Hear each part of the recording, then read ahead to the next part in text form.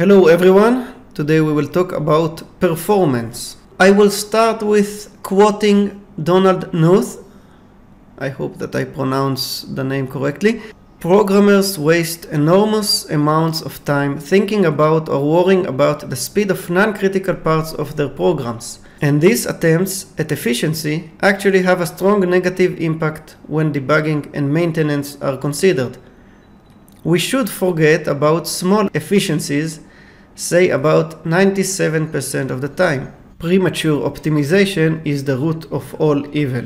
Maybe a bit over dramatic, however, I really like this quote. There are many cases where developers choose a complicated and unmaintainable implementation over the simple and straightforward implementation in the excuse of performance. And in almost all cases, it doesn't really help in any way except of making the program more complicated. I recommend all developers to always start with the simplest implementation possible. A simple implementation can be improved, can be maintained, and will be correct. If you think that there is a performance problem, then measure it. You can use very simple code to measure performance.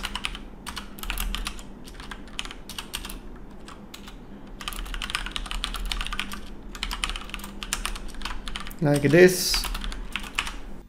There are several aspects to performance. A slow operation that happens in the background and doesn't affect the user interface is not too bad. The user can still interact with the program and at least see a nice animated waiting message, unlike a long operation that completely freezes the user interface. On both Android and iOS, the OS itself will kill such applications. In Android, this is named the ANR dialog, the application not responding dialog. There is a non-official library, the threading library, that allows you to run code, your own code on other threads. I don't recommend to use it. An important concept in B4X is that your code runs on the main thread, and it is the library's responsibility to handle potential long tasks with additional threads. The only exception is server solutions with B4J where each handler runs in its own thread. I see many cases where developers use the threading library and eventually it causes more harm than good. I've collected a few common performance issues or tips when you load a bitmap, it can consume a lot of memory. The required memory is not related to the file size, but rather to the image dimensions. You should use load bitmap resize or load bitmap sample, especially if you load external images, which you don't know their size. A single bitmap can cause your program to run out of available memory or to consume most of the available memory. Reuse bitmaps. There is no reason to load the same image file more than once. You can use on B4A the starter service to load the bitmap when your program first starts, store it in a process global variable and use it whenever you need it.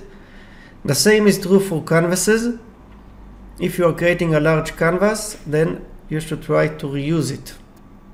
Next to SQL, never insert more than a single record without a transaction this will make your program run much much slower as it will create an implicit transaction for each command.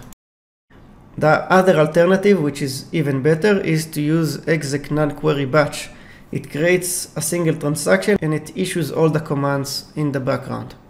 If you are making a large query, then use exec query async, which makes the query in the background. Together with the wait for keyword, it is very simple to use such queries anyway. I've talked about it in the strings tutorial.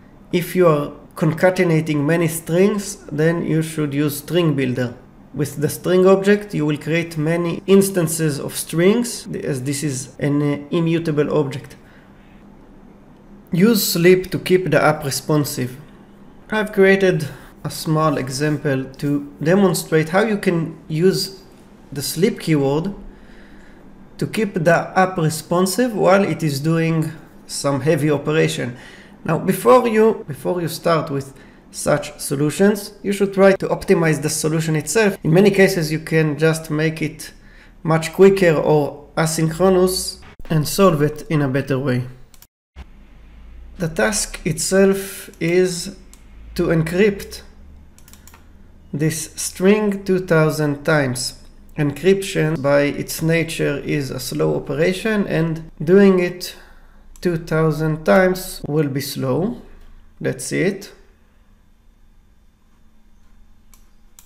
Everything is freeze now.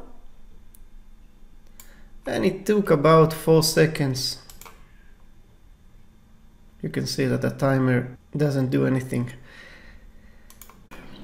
I've added an image view with an animated GIF and made it visible before the loop and hide it when the task completes. However, as the main thread is busy with the encryption, it cannot update the user interface.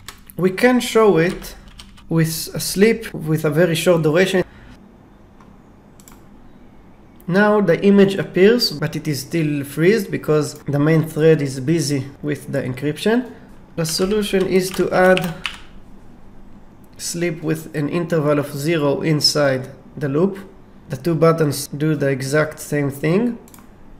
That's right. Now the program is responsive.